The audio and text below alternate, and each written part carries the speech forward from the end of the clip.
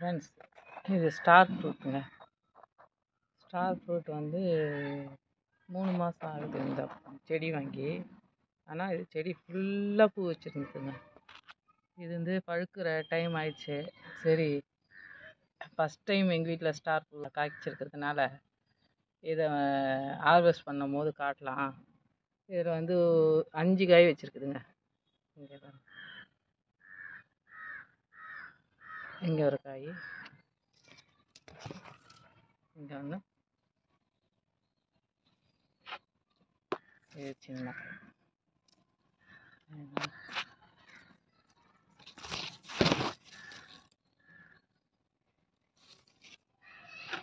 நாலாவது காய் அஞ்சு.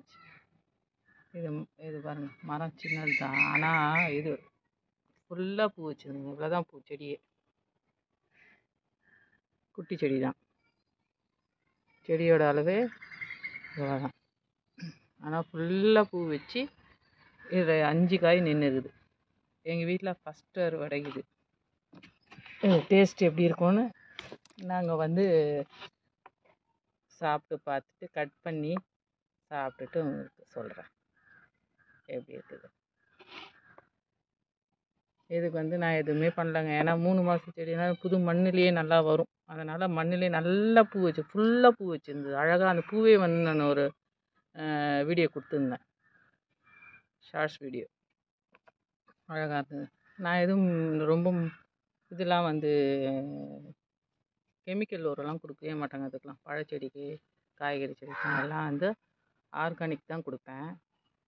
அந்த மாதிரி ஆர்கானிக்காக பார்க்கும்போது நம்ம ஆட்டு எரு ஆட்டு எரு நிறைய ஆட் ஆட்டு எரு கிடைக்கும் மாட்டு எருவும் கிடைக்கும் மண்புழு உரம். அந்த மாதிரி தான். அந்த காய்கறி கழுவின தண்ணி அந்த புண்ணாக்கரைசல் அது தான் என்னோடய என்னோடய ரொட்டீனாக இருக்கும். என்னோடய செடிங்களுக்கு எல்லாத்துக்குமே. ரோஸுக்கு போது தான் வேறு மாதிரி மெனக்கிடுவேன். அதனால் நான் மண்கலவையே நல்லா கொடுக்கறதுனாலே நல்லா வருங்க செடி. மண்கலவை இலத்தழை இழத்தழை போடுறோம் பார்த்திங்களா அதுதான் மெயினான இதுவே. இதுக்கு பூச்சி ம தாக்குதல் வராது போது நல்லாவே காய்க்கும் போல். நானும் நிறைய வீடியோஸ் பார்த்தேன். ஸ்டார் ஃப்ரூட்டு வீட்லேயே மாடி தோட்டத்திலேயே வளர்க்கலாங்க. எல்லோரும் வீட்லேயே நம்ம டிஃப்ரெண்ட்டான பழங்கள் சாப்பிட்லாம்ல. அதனால் நீங்களும் வளர்த்து பாருங்கள் happy gardening friends thank you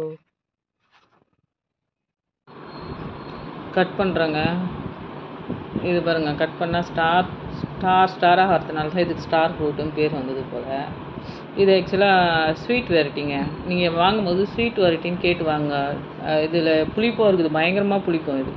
இது ஆனால் பழுக்கவே இல்லை. இன்னும் பழுக்கணும் போல். பழுக்காமையே எனக்கு நல்லா இருந்தது சாப்பிட்றதுக்கு. நாங்கள் வீட்டில் எல்லாருமே சாப்பிட்டோம் நாங்கள் நல்லா இருந்தது. அதனால் நீங்கள் வாங்கும்போது ஸ்வீட் வெரைட்டின்னு கேட்டு வாங்கி வைங்க. இப்போ வருது அந்த மாதிரி. நல்லா தாங்க இருக்குது. இன்னும் பழுத்ததுன்னா செமையாக இருக்கும் போகுது ஜூஸியாக நல்லா இருந்தது. ட்ரை பண்ணி பாருங்கள்